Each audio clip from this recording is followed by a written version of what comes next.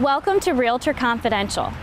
My name is Laura Doster, and I'll be your host for this new web based series where NAR opens our confidential files on realtors across the country to see what they're doing to implement technology in their businesses.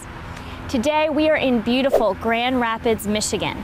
Grand Rapids is home to a former U.S. President, Gerald R. Ford, but it's also home to another president, 2007 NAR President Pat V. Combs. Today, we're going to open our confidential file on Pat and find out how she's using technology in her business and maybe what she'd want to know a little more about. So follow me.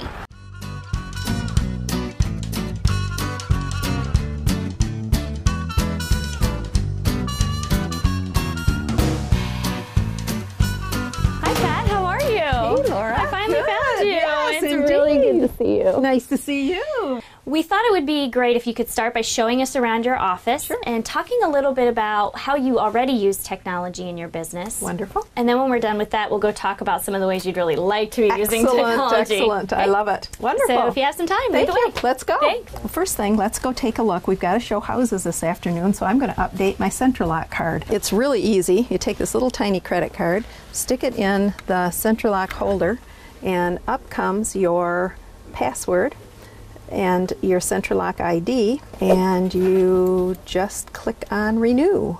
So it's renewing it while I'm sitting here. It takes just a couple minutes, and uh, this is uh, set up for me so that when I go out this afternoon, I can use this to get into any of our key boxes. In most of our offices, uh, each agent has their own laptop. So um, we do have some computers here in the office for those who don't have their own laptops or who have left them at home.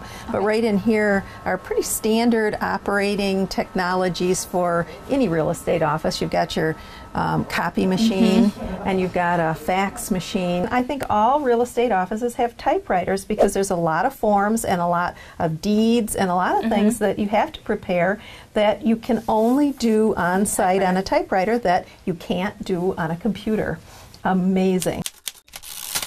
And then down here, uh, in addition to the room to meet with customers and clients, we've got a station down here for um, all of their needs. We've got a, a printer. It's a um, it's a color printer, and then we've got one of those all-in-one machines where we can scan and we can print. And uh, this is really a lifesaver. It used to be, you know, the snail mail. You'd send it, Yeah. and then three or four days later they'd get it, and then we would fax it. And if their fax machine was turned on, we would be lucky, and then they would get that. And now we're scanning it and emailing it, and then instantaneously they're receiving it. So um, we think that the, we've got state of the art here Absolutely. in some of the things. Some things. Well, now that we've seen kind of what you have, why don't we go upstairs and talk a little bit about the areas of technology that you'd kind of like to do more in? Yes. And I know that can be a tough topic, so maybe we should sit someplace comfortable and you know figure out what we can do. I'd love Okay?